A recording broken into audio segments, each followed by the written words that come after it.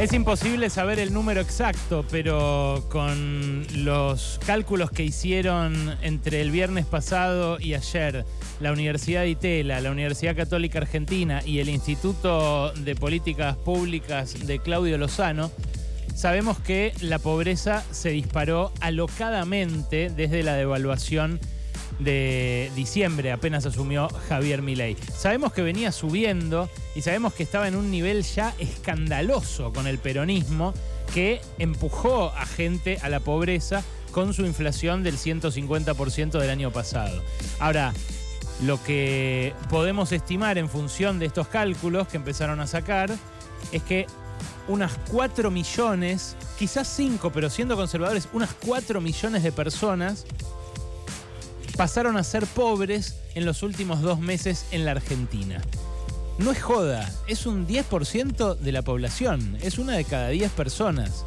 Y la pobreza que había antes era mucha, pero está incrementándose en estos primeros meses del gobierno de Javier Milei casi en un 30%.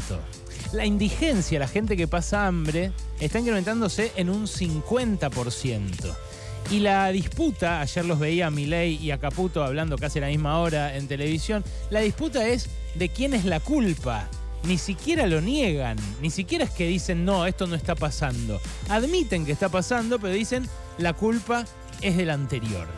Bueno, de ese océano de pobres que está ahora sufriendo una situación novedosamente mala, se podrían extraer infinidad de testimonios y nosotros lo venimos haciendo en la medida de lo posible, contando cuando a un comedor no le llevan alimentos, contando cuando eh, a un barrio no le recogen los residuos, cuando a una escuela le roban los insumos.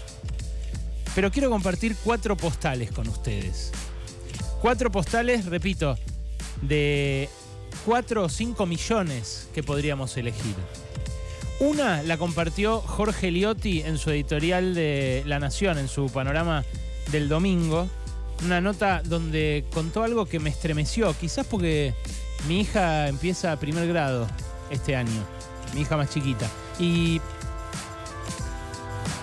contaba el colega, repito, en el diario La Nación, que hay familias que este año, por lo que aumentaron los útiles escolares, y por lo que aumenta el transporte y por lo que se encarecieron los alimentos y lo que vale darle algo al nene o a la nena para que vayan a la escuela, hay familias que empezaron a elegir a qué hijo mandan a la escuela. Claro, no hay plata para todos, como dice mi ley. Entonces se ven en esa disyuntiva tremenda. Una disyuntiva que implica a un padre, a una madre, lo peor que le puede hacer un hijo, renunciar a darle más posibilidades para la vida. Bueno, eso es lo que dice el colega que empezaron a hacer en muchos hogares postergados de nuestras clases más hundidas en la sociedad. Empezaron a elegir. ¿A quién eligen? Al nene o a la nena más chiquito, para que tenga algún año más de escolaridad.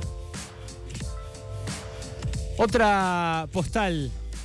En San Martín hay colegios parroquiales que les dijeron a sus alumnos que no les iban a pedir más el uniforme este año. Le dijeron a los padres de los alumnos, básicamente, que no les iban a exigir el uniforme que siempre les exigieron. ¿Por qué?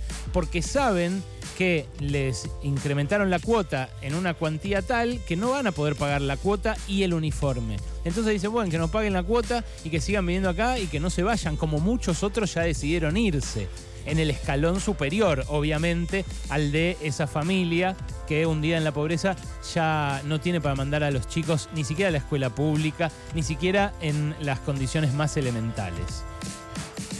Esas familias que dejaron de comprar el uniforme son familias que dejan de gastar, pero a la vez del otro lado hay una costurera que deja de laburar, que deja de hacer ese uniforme nuevo que este año no lo va a vender. Y que lo que está teniendo ahora es eh, más eh, contrataciones para remendar, tienen más changas de remendar y de arreglar ropa vieja.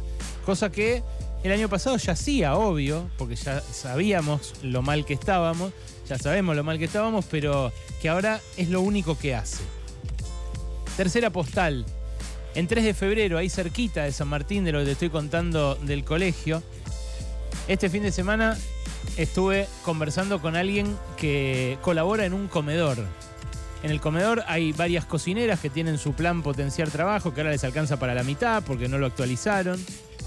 Y hay gente que colabora, comerciantes de la zona, que llevan cosas, laburantes, que ganan bien, que llevan guita, que llevan cosas.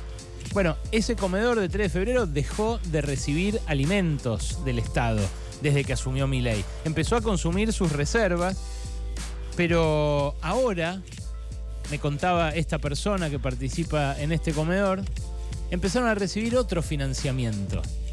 Empezaron a aparecer pibitos que hasta hace poco iban al comedor a pedir comida, pibitos de 13, de 14 años, a dejar plata. Y dejan 2, 3, 4 lucas después de laburar. ¿De qué laburan los pibes de 13, 14 años? De soldaditos del narco. Claro, dejaron la escuela, quizás sean el hermano mayor de esa familia en la cual ya no hay plata para mandar a todos a la escuela. Y están ahora como parte de una maquinaria que no sabemos cuánto creció en la Argentina en los últimos 20 años, pero sabemos que creció mucho y que es otro el paisaje, el sustrato de la pobreza que el que había en 2002. Tiene un actor nuevo, este actor, el narco. La cuarta postal también tiene que ver con el narco, porque acá en la ciudad de Buenos Aires, en las ferias que hay cerca de los barrios más eh, carenciados, se vende casi nada últimamente, no hay un mango.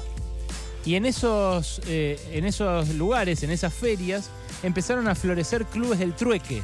Me decía un amigo que vive ahí que las ferias están virtualmente convertidas en clubes del trueque en varios barrios pobres de la ciudad de Buenos Aires. Y en algunos de esos puestos, donde se cansaron de no vender nada, donde se cansaron de no canjear nada tampoco en el trueque, en algunos casos también venden falopa. Obviamente es algo imposible de mensurar, es algo imposible de cuantificar, pero la dimensión social del negocio narco aflora en estos momentos más que nunca. Porque cuando se corre el Estado, cuando se retira, aparecen otros actores que ya han aparecido en otros países de América Latina. Son cuatro postales dolorosas, pero que podrían ser otros cuatro o cinco millones. Simplemente hay que hacerle un poco de zoom a cada historia para vivirlas. Pasaron cosas. Cosas. Hasta las 16 con Alejandro Bercoy.